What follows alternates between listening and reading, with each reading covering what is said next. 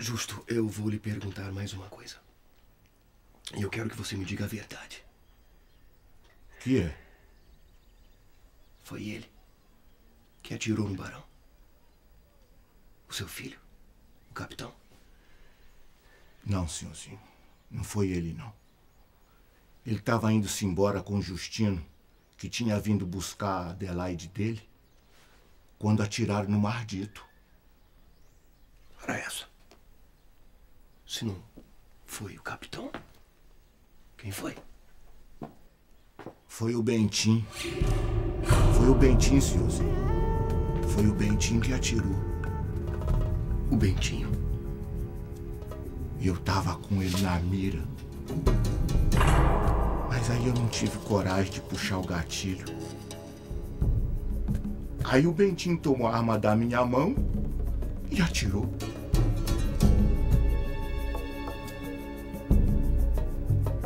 Vai, você não vai entregar ele, vai?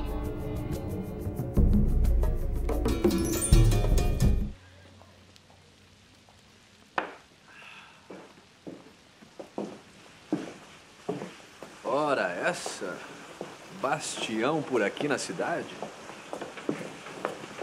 Eu vim trazer assim, a baronesa pra ver a filha dela. É. Com ordem do senhor barão. Ora, essa. Então quer dizer que o barão está aos poucos abrindo a guarda. Pois é. Assim a baronesa tá na casa do doutor Fonte com assim a moça. E. E como é que ele está, o- senhor barão? Ainda tá todo entrevado na cadeira. Pelo jeito vai andar nunca mais.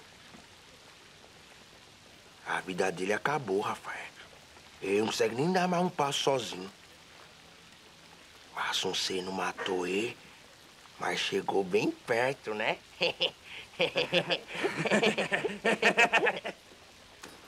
Se tivesse sido eu, Bastião, eu não teria errado o tiro. E você sabe disso, não sabe? Assim a baronesa já sabe que Vassunceno é filho dele. Meu Deus do céu. Mas. Mas quem foi que contou a ela isso? Assim a moça que contou quando tava delirando na cama. Quando a gente tava vindo pra cá, assim a baronesa me falou que gostaria muito de falar com Vassuncê. Só que não sabia onde e de que jeito. Diga a ela que me encontre na sacristia da igreja. Lá nós vamos poder conversar em segurança. Tá certo. Tá certo?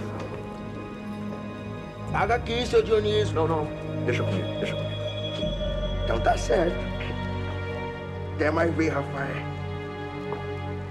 Até mais, Bastião.